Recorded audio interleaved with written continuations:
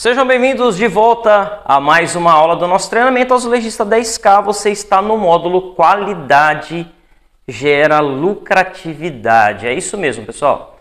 A primeira coisa que um azulejista precisa entender é que para ele ganhar bem, para ele atingir o patamar que ele quer, no caso de vocês, a gente colocou uma meta de 10 mil reais por mês todo mês. Para você atingir a meta de 10 mil reais por mês, todo mês, você tem que ter a consciência de que você tem que ter uma qualidade acima da média da sua região. Vou dar um exemplo para vocês, tá? Uh, vamos dar um exemplo do médico? Beleza. Quem vocês chamariam para fazer uma cirurgia cardíaca, uma cirurgia de coração? Um clínico geral ou um cirurgião cardíaco? A resposta é óbvia, né?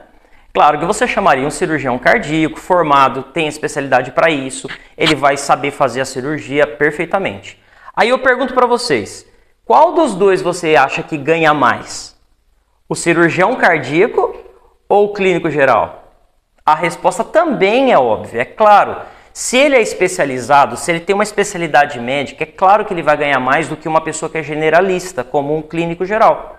Em qualquer profissão, e a de azulejista também é igual, a pessoa que é generalista, aquela pessoa que uh, ele pega a casa para entregar pronta, ele pega do alicerce ao acabamento e entrega pronta. Essa pessoa nunca vai ter a rentabilidade que um especialista tem. Tá? Por quê? Porque a, a questão da qualidade, pessoal, ele tem que dividir o tempo dele em várias etapas da construção. Alicerce é uma etapa, levantar a parede é uma etapa, polagem é uma etapa, rebocar é uma etapa, fazer o acabamento é outra etapa. Então, assim, ele nunca vai se especializar em nenhuma dessas áreas. Quando você se propõe a especializar dentro de uma única área da construção civil, o que, que acontece? Com, com a, a rotina de trabalho ali, com, a, com a, as técnicas, a inovação, você vai correndo atrás de informação, de fazer treinamento, você vai ficando cada vez mais especialista chega um ponto que a tua qualidade fica muito superior à qualidade de um azulejista, de um, de um profissional generalista, de um pedreiro geral. Fica muito, a, a, diferença fica muito gritante. E o que, que acontece? O azulejista tem que entender que existem dois tipos de cliente no mercado. Existe o cliente que quer preço e o cliente que quer qualidade. Franz, mas parece que na minha cidade só tem cliente que quer preço. Realmente, pessoal, muita gente procura preço certo?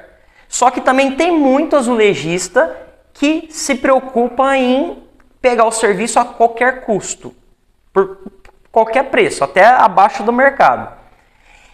Só que existe também, pessoal, um tipo de cliente que ele está preocupado com a qualidade. Ele sabe que ele vai pagar um pouco mais para um cara que é especialista. Só que ele não consegue encontrar esse cara. Entendeu qual que é a jogada? Se você for esse cara, o que, que acontece? Você vai pegar uma obra de cliente quali qualitativo, aí você vai pegar uma segunda, uma terceira, uma quarta, vai chegar uma hora em que todos os clientes que procuram a qualidade sempre vão encontrar você.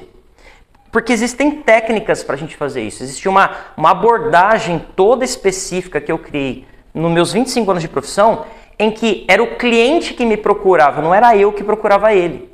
Então chegou um ponto, pessoal, que eu, mesmo com equipe, com três, quatro azulegistas, a gente em cinco, eu e mais quatro, a gente não conseguia pegar todas as obras que a gente podia, por quê? Porque faltava abraço. Mas por que, que esse monte de cliente de qualidade me procurava?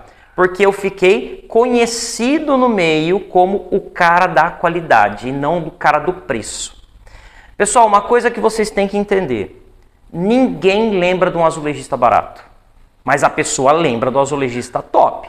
Um azulejista de qualidade, todo mundo lembra, tanto que indica. Você já, você já, já viu alguém indicando um mecânico porque é barato? Não, a gente indica um mecânico porque ele é bom, ele resolveu o problema, é um cara que sabe do que está fazendo, ele achou o defeito do meu carro. Aí, quando um amigo meu pergunta de mecânico, eu indico o mecânico da minha confiança. Então, o azulejista também é assim.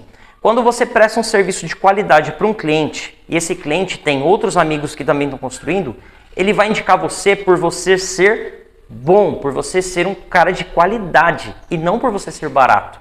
Porque barato, pessoal, tem um monte no mercado, mas bom é difícil de encontrar. Quando esse ciclo de clientes qualitativos, eles acham esse, esse profissional, eles começam a fazer o boca a boca, começam a indicar.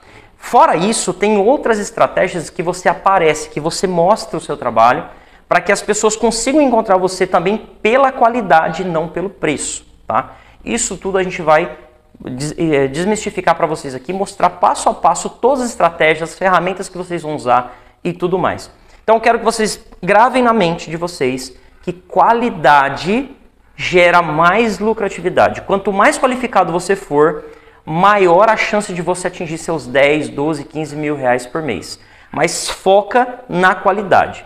Mas Franz, tá, eu sou um azulejista bom. Eu quero saber o seguinte: o, o que, que, é essa qualidade que você está tentando explicar? Porque eu me considero um bom azulejista, eu me considero um cara de qualidade. O que, que eu tenho que ter a mais para mim poder chegar nessa, nessa, nessa gama de clientes aí? Isso eu vou te explicar no próximo vídeo. Fica ligado aí.